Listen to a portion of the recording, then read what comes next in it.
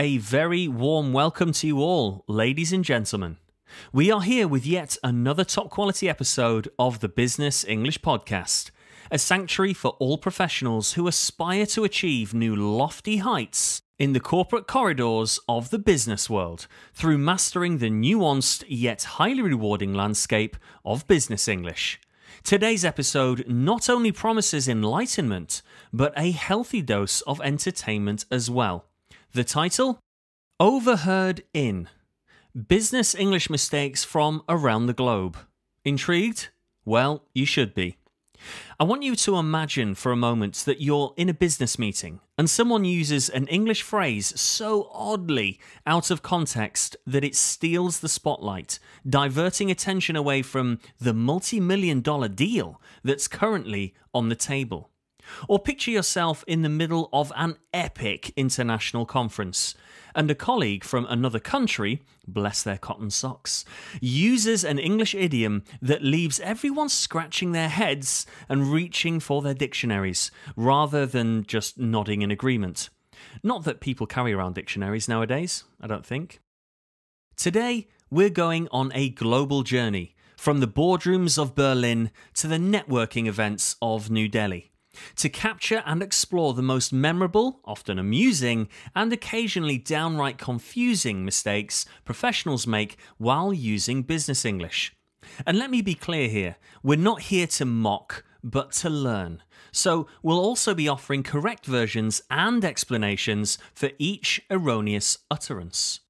I mean, has it ever struck you why your overly indirect British colleagues insist on adjourning a meeting instead of closing it? Or why your American client seems to touch base so frequently? Stick around because we'll be decoding such intricacies and setting the record straight once and for all. It really is going to be an episode full of revelations. And just as a little teaser, I can assure you that even those who consider themselves fluent in business English, I'm looking at you natives and the C2 posse as well, may discover they've been making a faux pas or two along the way. The devil, as they say, is in the details. By the end of this episode, you'll have sharpened your linguistic acumen and, just maybe, saved yourself from a future embarrassing moment. You can thank me later. So, grab a cup of coffee or tea, although you know which one I'll be having, put those do not disturb signs on the door, and stretch off. This is one episode you won't want to pause, let alone skip. Okay, let's dive in, shall we? Drop the beat. Ladies and gentlemen, welcome to the Business English Podcast, helping professionals communicate more effectively, more confidently, and with impact with your host, Rob from Energetic English. Let's get down to business.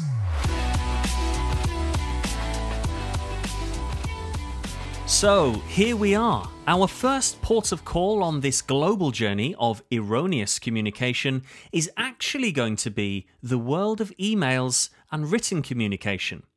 I know what you're thinking. I thought we were here for verbal fluency and repeat after me's. But might I remind you that this is an incredibly vital component to your professional communication? After all, we all know how crucial it is to get this right. Your words are literally documented. And just before we begin, I hasten to add that the nationalities and roles illustrated throughout this episode are in fact fictitious, fake, a work of fiction. However, the errors highlighted at each stage are very much real and have been documented from real business dialogue from across the world. I will leave a little gap after giving the erroneous statement twice so you can identify the error before I give the correct answer and explanation why. So, with that out of the way, let's jump in.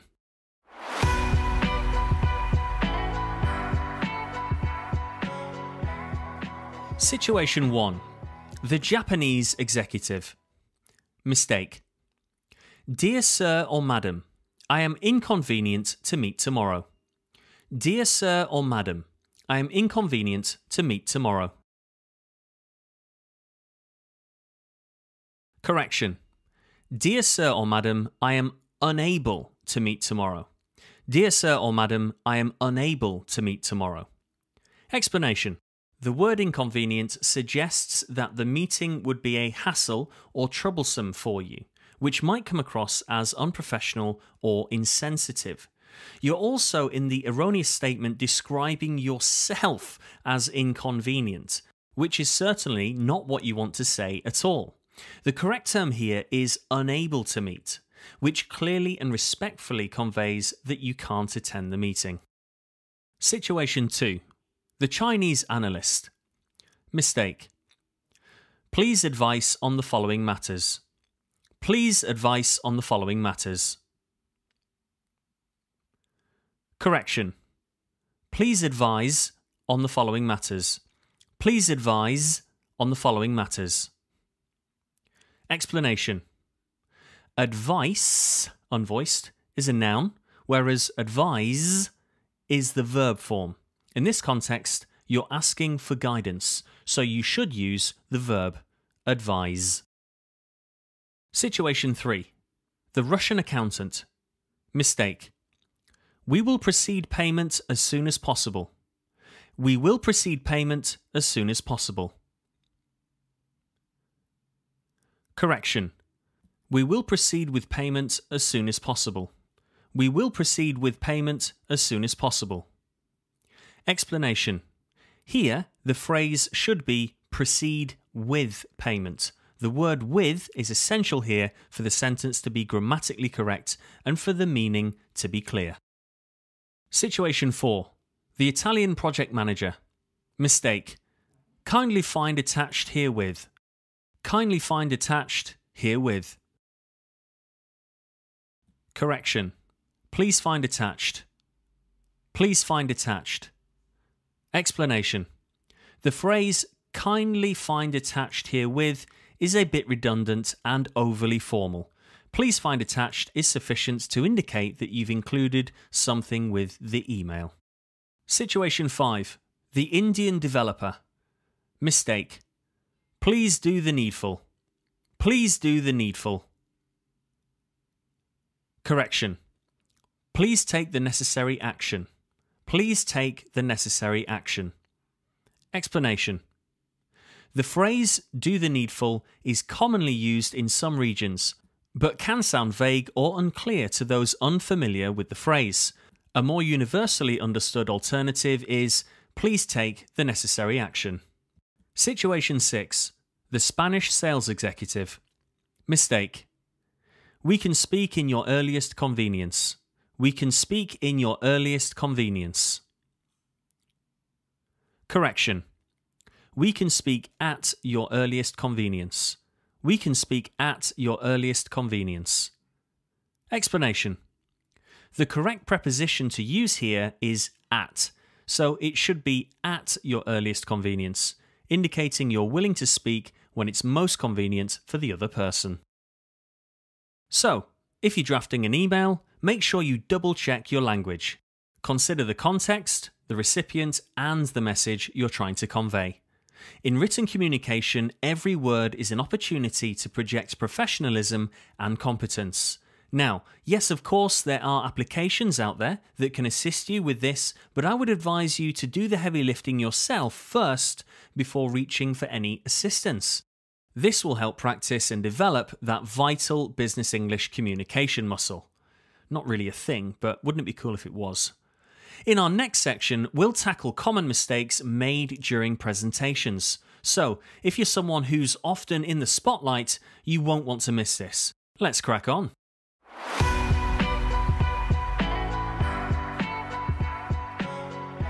Ah, presentations. That double edged sword of the business world.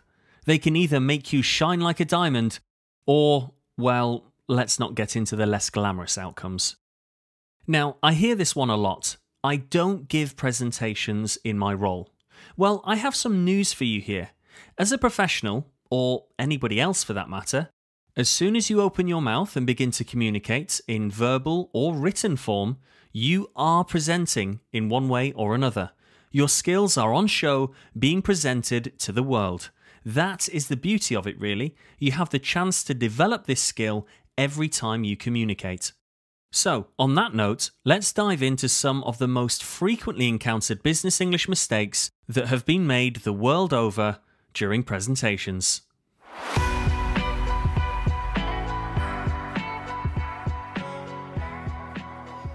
Situation 1 The French Marketer. Mistake. This product will give a big impact to the audience. This product will give a big impact to the audience. Correction. This product will make a big impact on the audience. This product will make a big impact on the audience. Explanation. In English, it's more appropriate to say that something makes an impact not gives an impact. And the impact is always on something or someone, not to them. Situation 2. The South Korean strategist. Mistake. We must focus about our objectives. We must focus about our objectives. Correction. We must focus on our objectives. We must focus on our objectives. Explanation The phrase focus on is the correct term. About doesn't fit here because you're not discussing or talking about objectives, you're concentrating on them. Situation 3 The Swedish Designer Mistake This interface is more easier to use. This interface is more easier to use. Correction this interface is easier to use. This interface is easier to use. Explanation. In English, the correct comparative form of easy is easier. There's no need for the word more when using easier. It's redundant and incorrect. Situation 4. The Mexican Entrepreneur. Mistake. We have many variety of products. We have many variety of products. Correction. We have a wide variety of products. We have a wide variety of products. Explanation. The word variety is a singular noun that refers to the state of being varied. Therefore, it's incorrect to say many variety. Instead, you can say a wide variety of products. Situation 5. The Egyptian engineer. Now, I am guilty of this one too. Mistake. Let's deep dive into this topic. Let's deep dive into this topic. Correction. Let's delve deep into this topic. Let's delve deep into this topic. Explanation. While deep dive is becoming more popular in business jargon, so we've heard over numerous previous episodes, it can sound a bit buzzwordy or informal. A more traditionally accepted term would be delve deep. Situation 6. The Thai business developer. Mistake. We can lay out on the table all our plans. We can lay out on the table all our plans. Correction. We can lay all our plans out on the table. We can lay all our plans out on the table. Explanation In English, phrasal verbs like lay out can be tricky, especially when used with other elements like objects and prepositions. Here, the correct phrase is lay all our plans out on the table, which means to present or reveal the plans for discussion or consideration. It's worth noting that some phrasal verbs can be split, and this is what's happening in this case. Now, as we are all very much aware, Presentations, or public speaking, better said, is a formidable tool in your business arsenal. And remember what I said earlier we all do it to some degree all the time. However, much like any tool, its effectiveness lies in the precision of its usage. These are but a few examples, but they underscore a broader point. Language matters. In our next section, we'll delve deep. See what I did there? into the realm of social interactions in the workplace, another vital area where business English plays a pivotal role, as I am sure you'll agree. Let's keep going.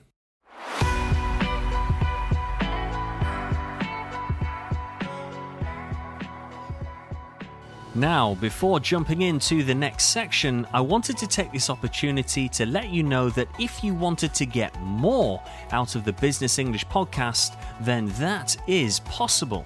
For example, full transcripts complete with timestamps so you never miss an expression, phrase focused one pages to quickly refresh your memory before that next last minute meeting pronunciation support to assist with the trickier elements of business English, live read along transcripts, quizzes, and much more. If this sounds like it could be useful, then the Business English Podcast premium subscription could be for you. Check out the details at the link in the show notes. Right, on with the show.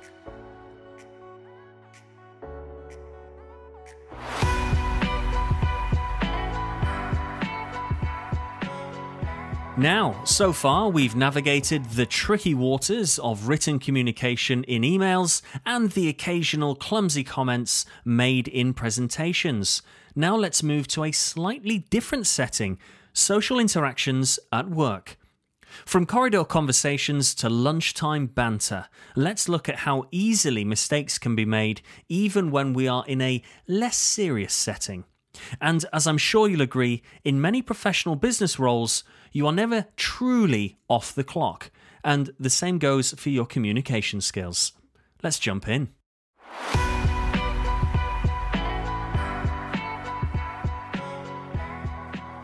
Situation 1 The German Engineer. Mistake.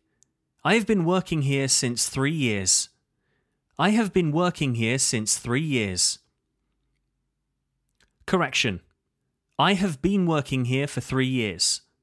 I have been working here for three years. Explanation. When talking about the duration of an activity, the correct preposition is for, not since. Since would be used if you were specifying a starting point, such as, I have been working here since 2020. Situation 2. The Turkish account manager. Mistake. I am interested on this project. I am interested on this project. Correction. I'm interested in this project. I'm interested in this project. Explanation. When talking about interest, the correct preposition is in, not on. You're interested in a subject or a project. Situation 3 The Polish Data Analyst. Mistake. Let's discuss about the budget. Let's discuss about the budget. Correction. Let's discuss the budget. Let's discuss the budget. Explanation. In English, discuss doesn't require about. You would simply say, let's discuss the budget and the meaning is clear without the additional preposition. Situation 4 The South African HR Executive. Mistake. The meeting has been preponed to tomorrow. The meeting has been preponed to tomorrow. Correction. The meeting has been moved forward to tomorrow. The meeting has been moved forward to tomorrow. Explanation. Although the term preponed is used in some varieties of English, it may not be universally understood. The clearer phrase would be moved forward. Situation 5 The Norwegian Developer. Mistake. Please revert back to me by end of day. Please revert back to me by end of day. Correction. Please get back to me by the end of the day. Please get back to me by the end of the day. The term revert back is often used in a business context to mean get back. However, revert means to return to a previous state, which isn't the intention here. Use get back to me for clarity. And of course, remember the articles. Situation 6 The Argentinian Marketing Specialist. Mistake. This campaign didn't came out as expected. This campaign didn't came out as expected. Correction. This campaign didn't come out as expected. This campaign didn't come out as expected. Explanation In negative sentences in the past simple tense, the base form of the main verb should be used after didn't. The correct version is didn't come out, not didn't came out. Social interactions in the workplace may seem casual, but as we all know, they can make a significant impression on your colleagues and perhaps more importantly, superiors. As you have seen from bits of this social section, English is a language that thrives on prepositions. They're small but mighty and can completely alter the meaning of your sentences. So, always take a second to think before you speak, even in less formal settings. Every interaction is an opportunity to showcase your professionalism and attention to detail. This fine tuning will honestly pay dividends in the long run, so stay attentive and keep going. In our next section on the worldwide stage of erroneous business communication, we'll switch gears and talk about the language mistakes commonly made during business meetings. This one is a real cornerstone, especially if you're the one often leading the meeting or presenting points. So let's get on with it, shall we?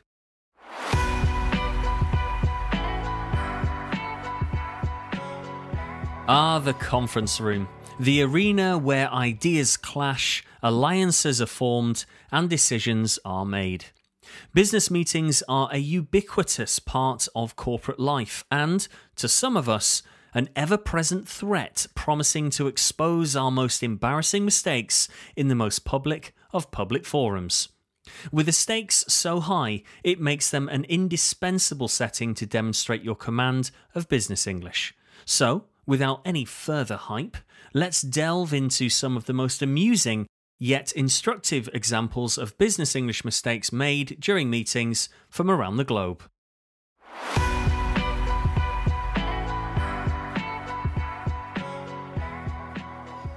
Situation 1 The Brazilian team leader. Mistake. Let's finalise this until Friday. Let's finalise this until Friday. Correction. Let's finalise this by Friday.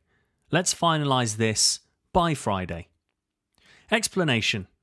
The correct preposition is by when indicating a deadline. Until suggests that the activity will be ongoing, which isn't the case here. Situation 2 the Dutch supply chain manager. Mistake. I would like to raise a point about we should reduce costs. I would like to raise a point about we should reduce costs. Correction. I would like to raise a point about reducing costs.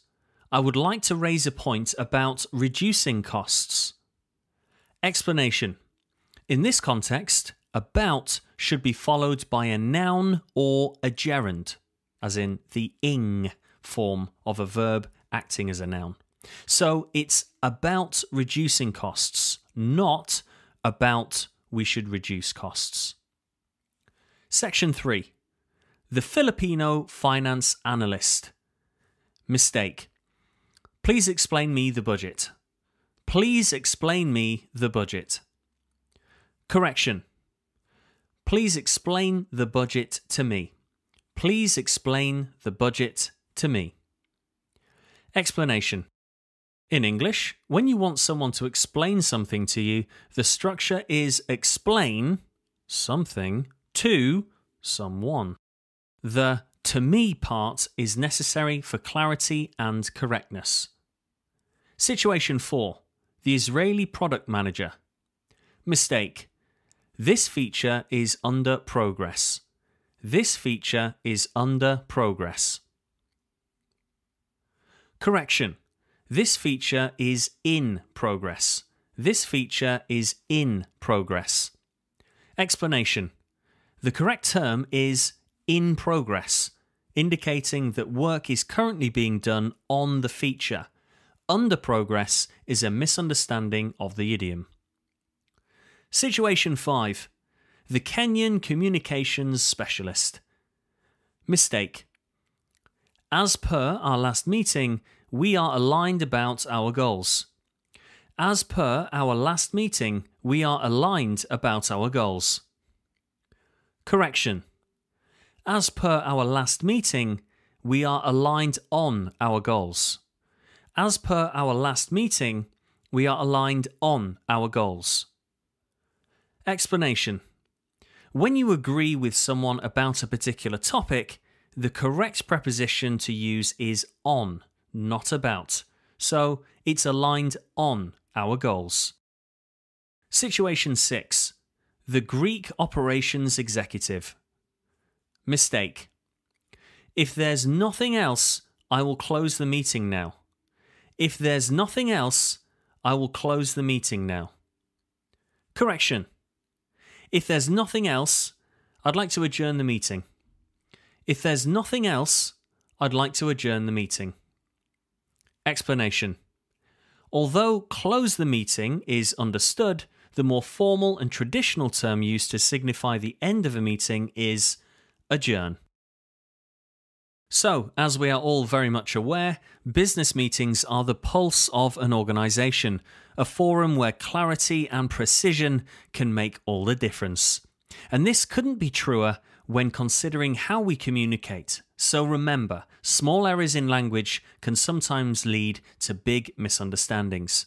And a vital point here, especially when considering meetings, your words reflect not just your ideas, but also your respect for your audience's time and attention. So make it count. In the next and final section of today's episode, we turn our attention to perhaps the most notorious and troublesome element of business communication, a skill that leaves even the most well versed execs quaking in their boots. But what could it be? Let's find out.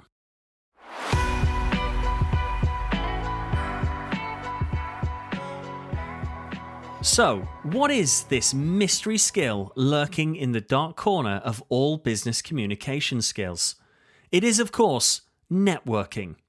That often long, complex, and heavily accented dialogue that is so integral to developing and maintaining business that we wouldn't be able to do anything without it. So, in this section, we're going to take a closer look at some of the business English mistakes commonly made during networking events. The art of networking is one of the most crucial skills in the professional arena, a place where first impressions are everything. Let's unpack some of the delightful errors that have been made in various corners of the world when business pros are out there trying to rub shoulders and make connections. Okay, let's go.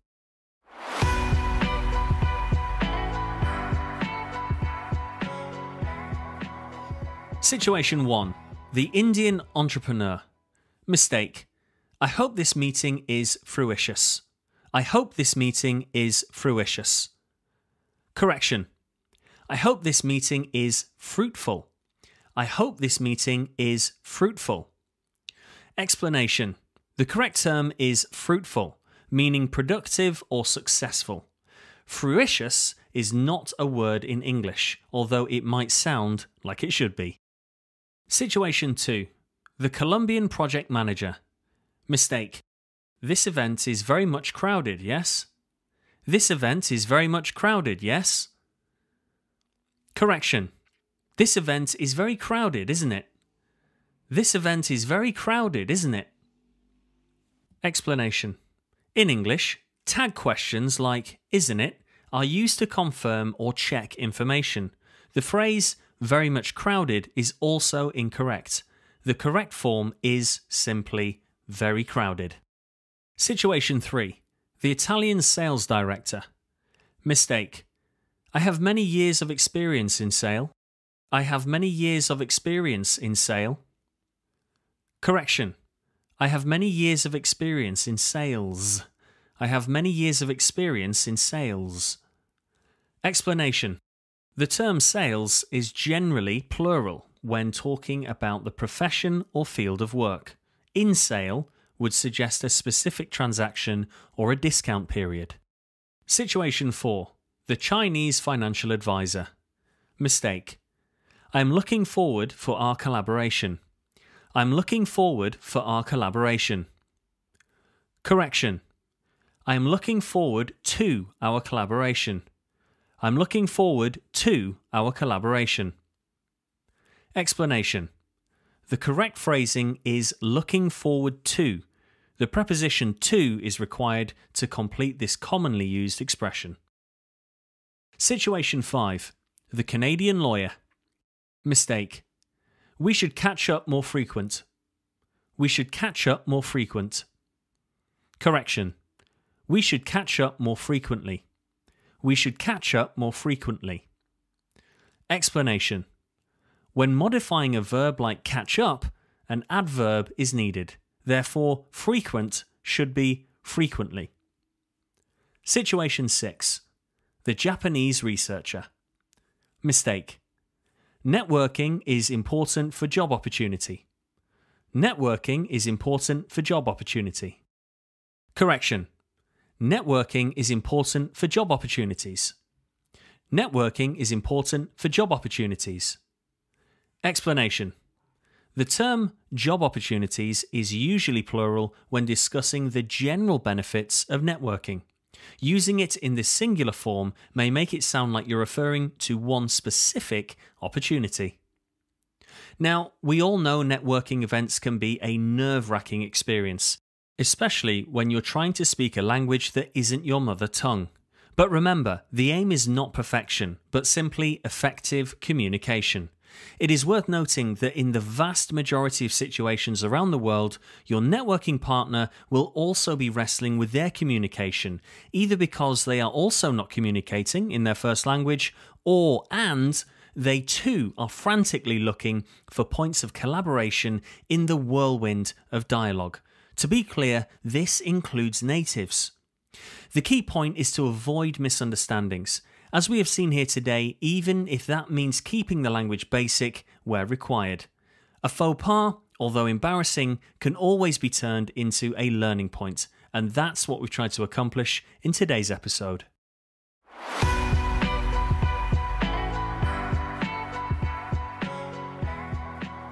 So, what an adventure it's been, traversing the world's boardrooms, teleconferences, and networking events a considerable repository of mistakes, misunderstandings, and most importantly, opportunities for growth. We've laughed, we've cringed, and hopefully, fingers crossed, learnt a thing or two. Remember, each error we commit, whatever it may be, brings us a step closer to mastering the ever elusive art of business English. Now, did any of these situations resonate with you? Perhaps you've made a similar mistake or heard someone else commit one of these verbal transgressions. If so, great, that's exactly why we're here to observe, comprehend, and internalize these opportunities for growth. As we wrap up this enlightening episode, allow me to leave you with this thought. Mastery of language is not merely a display of intellect, it's an excellent demonstration of your dedication to your professionalism, to clarity, and becoming an eternal student. As the saying goes, a smooth sea never made a skilled sailor. So embrace those linguistic waves, however choppy they may be. Now, if today's episode did strike a chord with you, do us a favour and hit that subscribe button, leave a review, and most importantly, share this podcast with anyone in your professional sphere who could do with touching up on their business English. Your feedback and support are the wind beneath our wings. Until next time, have those business cards at the ready, those elevator pitches sharp, and of course, keep it strictly business. You have been listening to the Business English Podcast. Remember to subscribe, leave a review, and we'll see you next time.